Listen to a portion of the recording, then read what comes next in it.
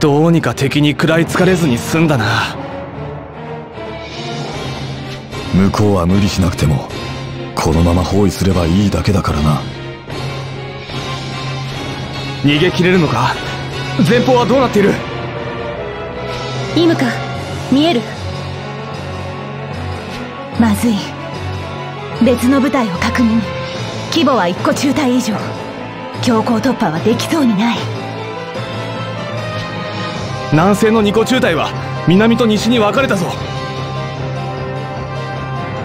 東西南北を完全に囲むとはたかが一正体相手にご苦労なことで。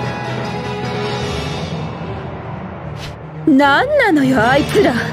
日頃クズ扱いしてるくせにビビってるんじゃない。どうするんだい坊や。どこを突破するか決まってるのかい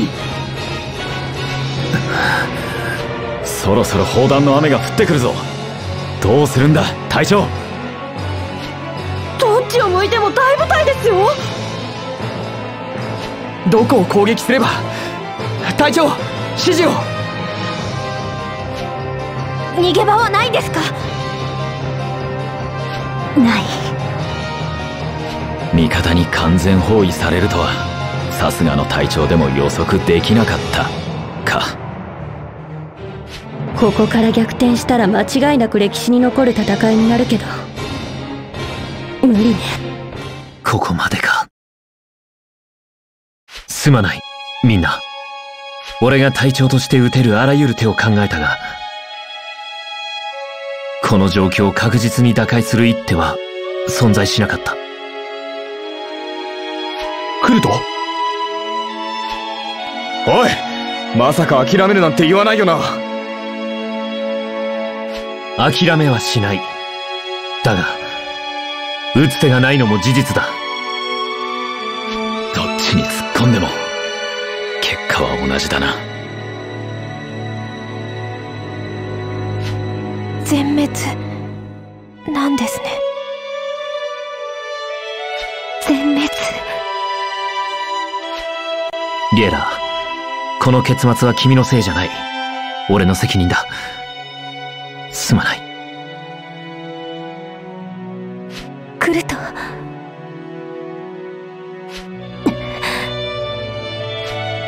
結末って何のこと？え？私はまだ終わりだなんて思ってないよ。どういうことだ？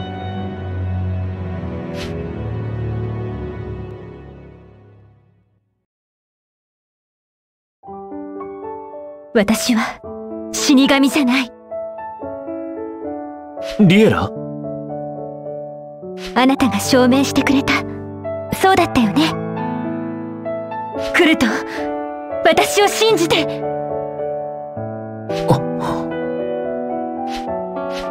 わかった。君を信じる。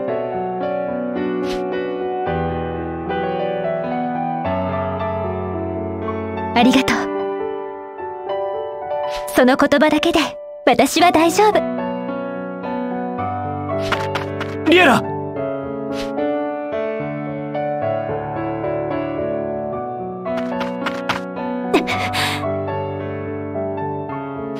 恐ろしい力。誰にも知られたくない秘密。みんな私がこんなことを隠していたと知ってまた嫌いになるかなそれでも。あ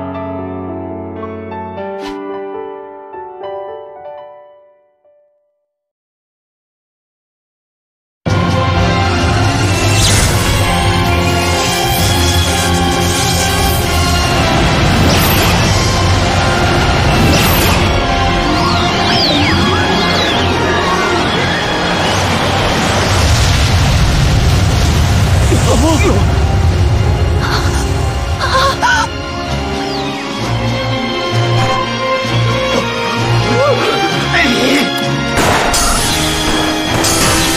これならどうだ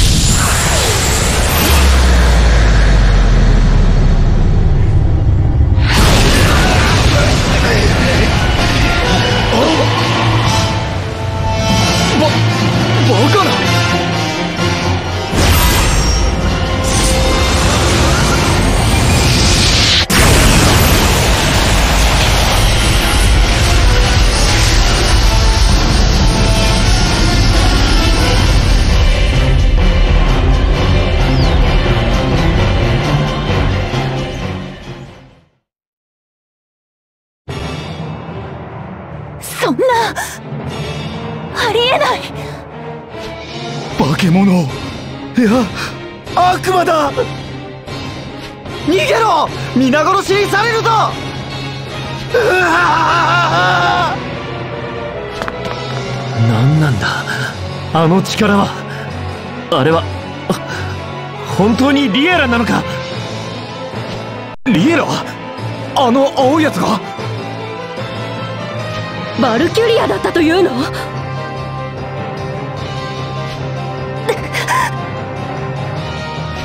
何やってんだい隊長。突破するチャンスだ。今しかないよ。